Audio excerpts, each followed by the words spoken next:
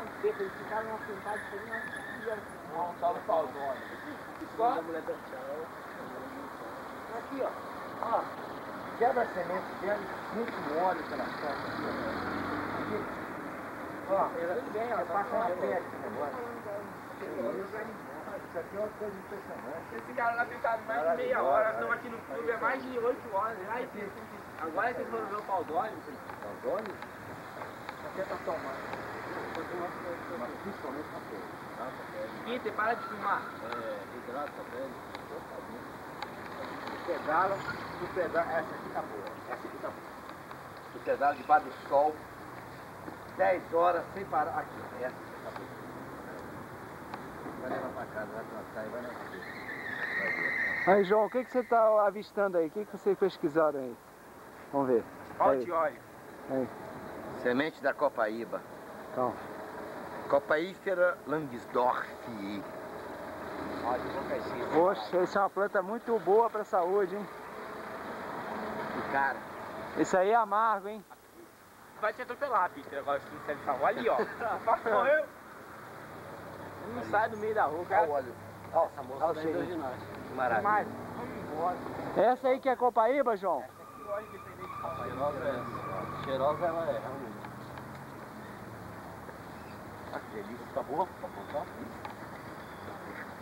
Quer mais um? Vamos?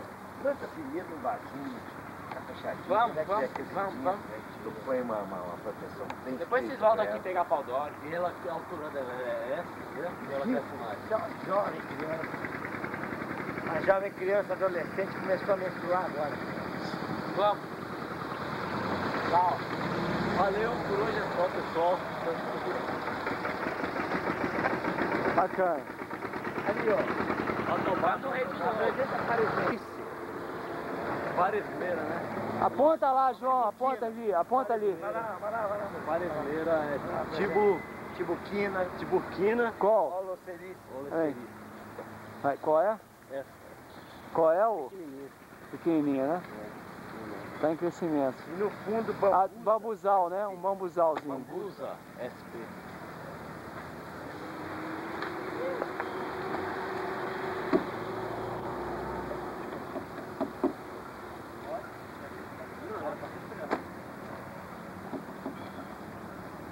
Remédio em casa.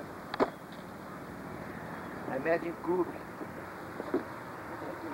Vamos. Uma hora que ele tava vendo revista, tinha o clube inteiro pra olhar que fez. Na de sair, você começa a olhar. É tempo de vai embora da vida, cara. A diferença. A vida é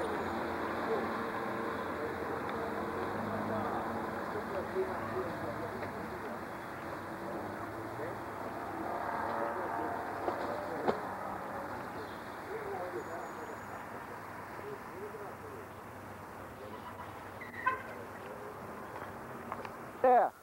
Vem cá, João, faz umas perguntas aqui rapidinho. Só rapidinho, assim. Você conheceu o André, né? E o André, o, graças ao André que a gente chegou aqui, né, né? O contato foi o André, né?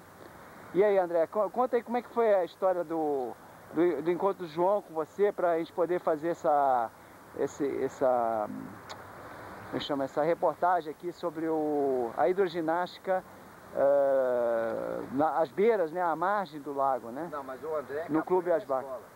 Eu sei, mas ele, ele foi, foi contato com ele que nós estamos seguindo o projeto Margem, né, que vai também Tá bem, eh, tá ter uma ligação com capoeira. Deixa eu só fazer um resumo. Vai lá, Eu vai lá, sou vai lá. é, formado em Educação Física, né? Estou Certo. terminando pós-graduação agora Legal. em Educação Física Escolar Fala bem alto, tá? é, na UNB. Sou formado na Dom Bosco e a pós-graduação na UNB. E Certo, eu já conheço o mestre polêmico há muitos anos certo. E a gente se encontrou por coincidência através do projeto Margem. Só que, paralelo a isso, a gente está conversando muito sobre capoeira, que eu lido com a parte de capoeira infantil aqui dentro do PIN, que é um programa pioneiro dentro da ASBAC, que tem a filosofia de educação integral. Então a criança passa aqui o período que ela não está na escola, a parte da tarde ou a parte da manhã inteira, escolhe três atividades para fazer. Dentre essas atividades a gente tem, além da capoeira, futebol, ginástica olímpica, natação, acompanhamento pedagógico, judô, teatro. Então a criança monta a sua grade de acordo com a sua preferência, né? Hoje nós já temos 80 alunos que escolheram a capoeira como opção e estamos difundindo em torno de Brasília, né? E sempre procurando unificar, porque no meu tempo de atleta havia muita separação, as academias não se misturavam, ficava cada um. Vamos lá. Tá conversando? Não, não. Aí nós estamos falando ali daqueles, daqueles monstros que vieram pra cá. É, tempo que o monstro chegava aqui. Tinha dia que chegava. Oh, de 8, 9, 10 no outro. O hospital aqui era um bom hospital. O melhor hospital que teve aqui dentro. O hospital aqui. Não existia nem infecção hospitalar naquela época. Não, aqui que a gente contasse, não. Se entrasse vivo, era capaz de sair até vivo também. No tempo que eu, no tempo que eu, eu cheguei aqui, dia 18 de março de 58, eu entrei aqui no IAPI comecei a trabalhar. Porque quando eu saí da minha terra, eu vim porque a, a, lá dizia que Brasília era uma fama, aquela fama boa de Brasília, tinha. Eu cheguei. Realmente, era realmente o que o povo falava, né? Tinha muita coisa boa. Eu entrei trabalhando e comecei a trabalhar. Aí comecei a trabalhar o tempo.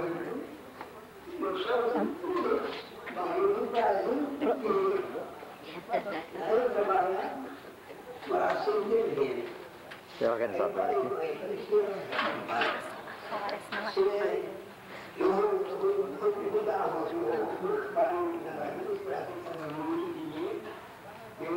E jogaram muita gente dentro desse lago aí?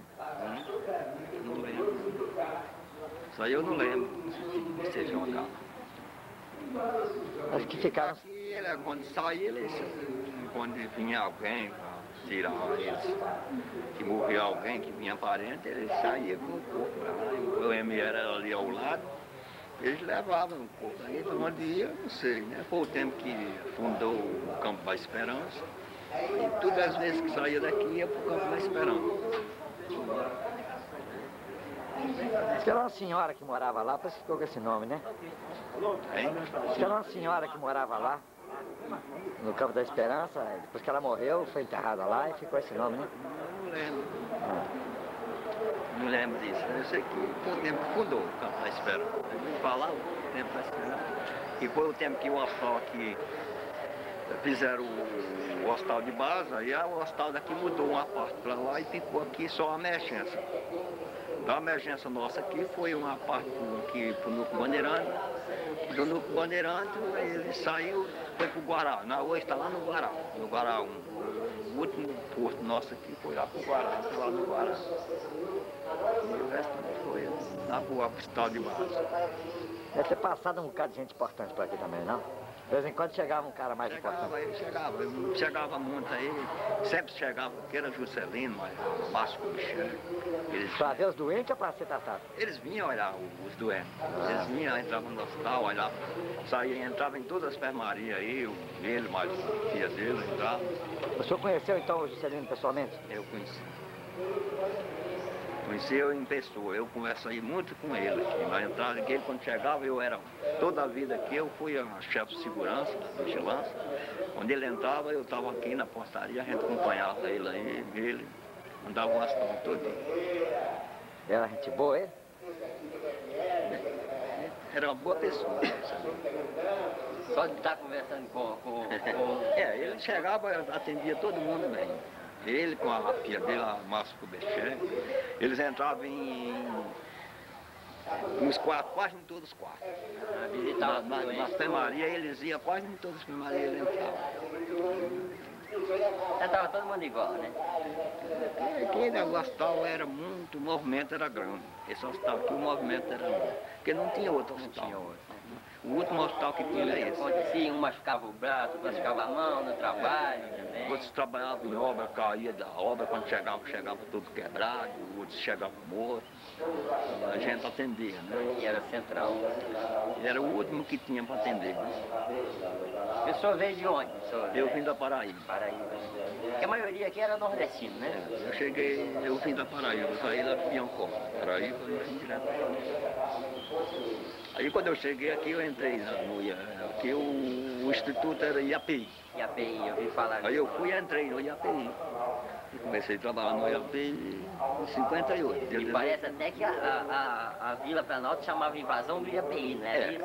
Vila não, a Vila Aqui do me- IAPI. Aqui mesmo, né? Que era A Vila do IAPI, aqui, aqui é, hoje é Sambambaia, é P Norte, P Sul. Ah, Era a Vila do IAPI.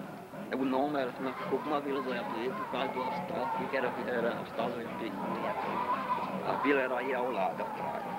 No núcleo Bandeirante Bandeirante, no Bandeirante, que era o núcleo Bandeirante, que, era Cidade Livre. que era, era a cidade livre, tinha. Lá tinha aquelas outras cidades tinha pequenas. Aqui a Canangolana, que hoje é Canangolana, era a Bela Capa, Velha Carta, é. tudo isso. O que, que significa IAPI?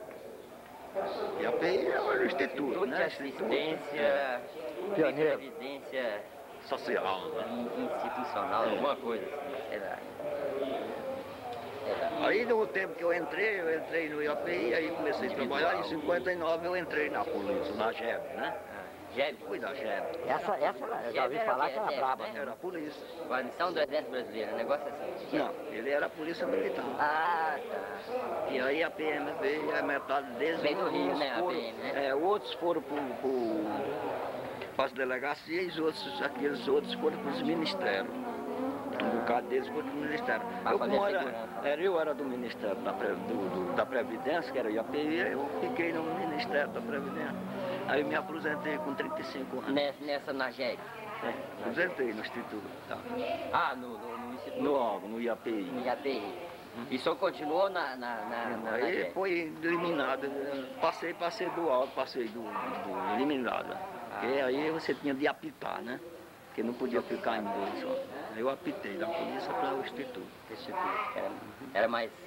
Eu já estava com mais tempo, eu pensava que não é, que, que o tempo valia. Ah, certo. Isso quando veio do norte, nem é. E o senhor trabalha indiretamente aqui ou não trabalha? Eu estou aposentado e trabalho aqui como sou chefe fiscal aí, da, administrador daqui da área e da vigilância. Ah, da vigilância vigilância.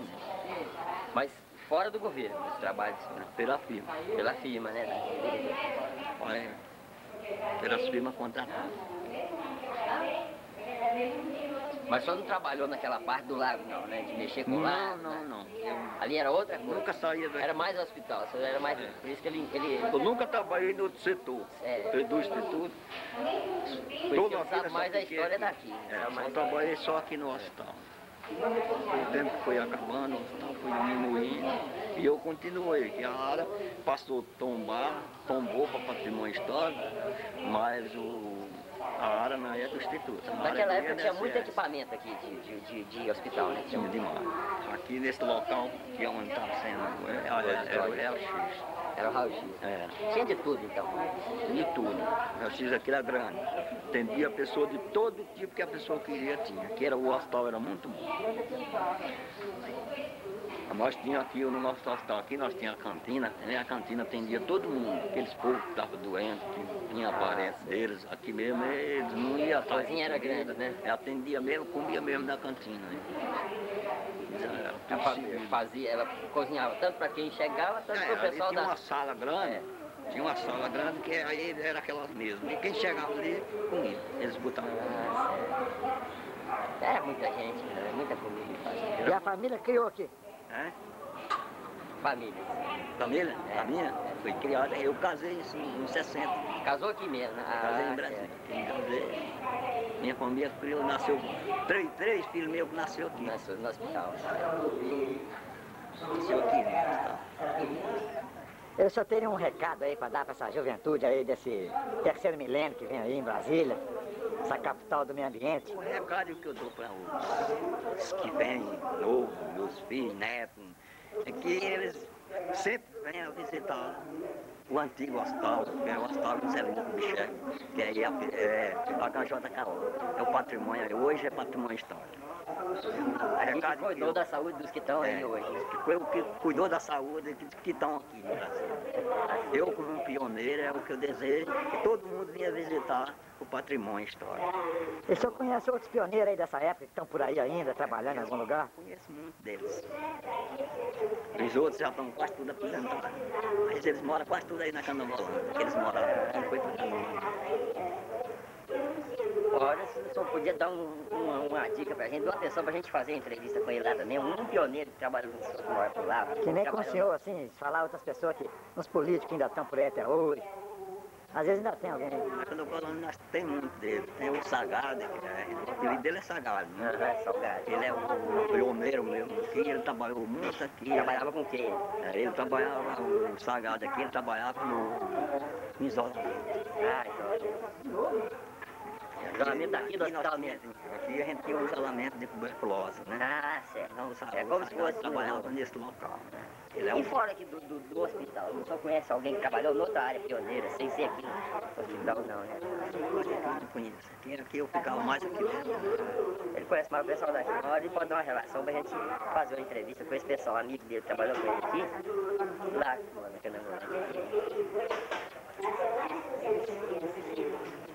na Canovalândia tem o Benedito Pedro da Silva, ele mora na Canovalândia.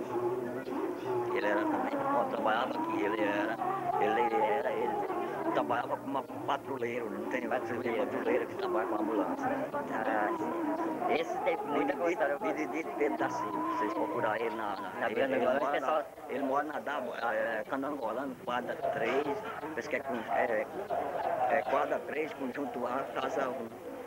Benedito Benedito Pedro da Silva. Pedro da Silva, trabalhava na, na, na patrulha, na É, eu ambulância. trabalhava aqui na ambulância aqui do, do, do.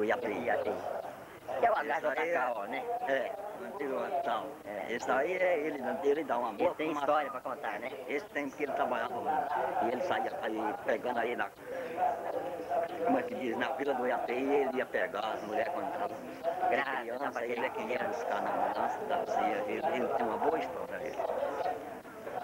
É porque tava, tava aqui dentro e fora, né? É, ele ficava fora e dentro. E aí ele estava aqui na mesma hora, ele chamava, ele ia buscar.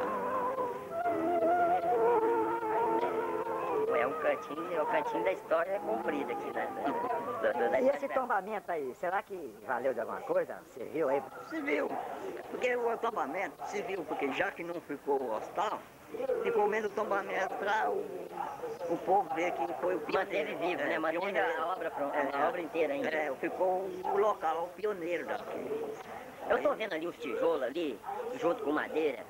Aquilo ali foi, é, é é uma obra antiga, né? Eles estão recuperando, como é que é? Ah, eles vão pôr com tijolo e vai. Começaram a reformar aí, acabou a verba, e aí no tempo do, do, do- não tinha parede do tijolo, mas eles agora estão reformando na botando. Aí depois, e depois fora é vão pôr madeira, Para recuperar, né? Para manter o mesmo, mesmo desenho É, que era. desenho, é. Porque isso aqui era o, era A era tudo assim de zinco mesmo. É, Sempre era foi. de alumínio, era... É made- metal, né? Metal. Esse mesmo metal que tá aí. Não, é o que era até quando era... Era, Duratex. Quando era seu tempo, aquele não era. Não, aquele não. De hora, não. É, quem era de alumínio do lado assim? É o alumínio é caro, né? Ela conheceu. É, Ela, a dela também.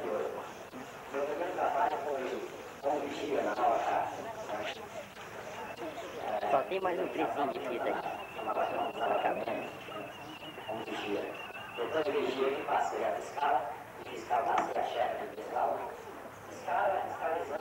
Cara, menino. Você não é pioneira? Não. Quanto tempo você tem de Brasil? 25. Desde quando nasceu? Você é pioneira. Nasceu aí, é pioneira, né? Pioneira de Safed. É candanga. Não, é. Nasceu aqui já é brasileiro. né? Candanga é quem vem de fora e mora. Candanga era embora eu, no tempo que tempo, é. Eu não sei como é que é Brasil. Eu sei que quem nasce aqui já é brasileiro. Ou quem nasce aqui é brasileiro. Então, então. Esse não é. Ah. Como é que é essa história? Quem nasce aqui, já todo mundo vai conhecer essa história com a caçalinha da mão aqui. Brasileiro. E candanga é que vier. Quem chegou.